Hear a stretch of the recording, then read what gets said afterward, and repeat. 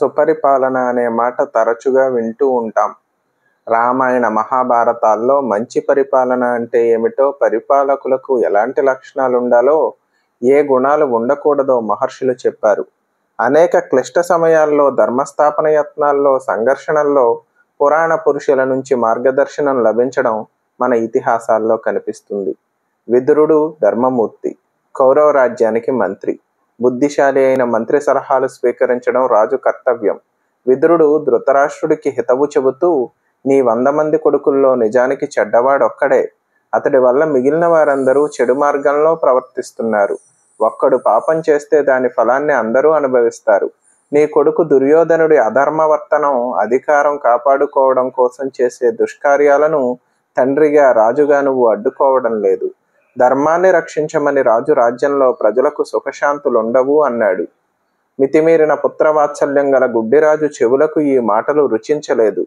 ధర్మాన్ని రక్షించడం రాజు ప్రధాన ధర్మం అనే మాటను విస్మరించాడు. శ్రీకృష్ణుడు పాండవుల రాయబారిగా హస్తినాపురం వెళ్ళాడు.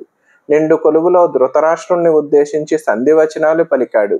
అధర్మం ధర్మాన్ని పీడిస్తున్నప్పుడు ధర్మం తనకు న్యాయం చేయాలని రాజ్యసభకు వెళ్ళినప్పుడు సభలోని వారు ఉదాసీనంగా ఉండరాదని ఏది ధర్మమో తెలిసి కూడా మాట్లాడకుండా మౌనం వహించడం అత్యంత ప్రమాదకరమని కృష్ణుడు హెచ్చరించాడు. ధర్మాన్ని గట్టెక్కించడానికి సత్యానికి శుభం కలిగించడానికి దైవం ఉండనే ఉంటాడు. రాజు బాధ్యత ఏమిటి? ధర్మాన్ని కాపాడగలిగే శక్తి ఉండి కూడా ఎవరైతే ఉపేక్ష వహిస్తారో అది వారికే కీడు కలిగిస్తుంది. సమాజంలో సత్యం ధర్మం క్షీణిస్తున్న సమయంలో ఆ దుస్థితిని తొలగించగల శక్తిమంతులు కొందరుంటారు. కానీ మనకెందుకులే అని నిర్లక్ష్యం వహిస్తారు. కౌరవ సభలో భీష్మ ద్రోణులు దక్షులైనా మిన్నకుండిపోయారు. చివరకు వారు బలయ్యారు. పాలకుడు ఎన్నడూ నిగ్రహం కోల్పోకూడదు. అధికార మదంతో విషయ సుఖాలు అనుభవించాలనుకోవడం అనైతికమే.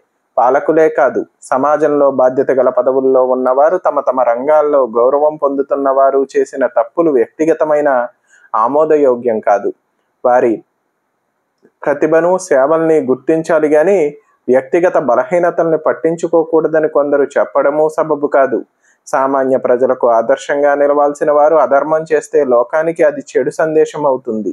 రాచరిక వ్యవస్థలోనే కాదు ప్రజాస్వామిక పాలనలోనూ పాలన అధికార వ్యవస్థలు అంచెలంచులుగా ఉంటాయి. కింది వ్యవస్థ దోషాలను పైవారు సరిదిద్దాలి. ఏవైనా అధర్మాలు అక్రమాలు జరుగుతున్నప్పుడు న్యాయ వ్యవస్థ జోక్యం చేసుకుని సరిదిద్దవలసి ఉంది. తనకు కప్పం కడుతున్న సామంతరాజు పాలనలో ధర్మహాని జరుగుతుంటే దాన్ని సరిదిద్దవలసిన విధి చక్రవర్తిది. ఏ కాలంలోనైనా పాలకులు బాధ్యత గల పదవుల్లో ఉన్న వారి ప్రథమ కర్తవ్యం ధర్మరక్షణే. దాన్ని ఉపేక్షించడం అధర్మం.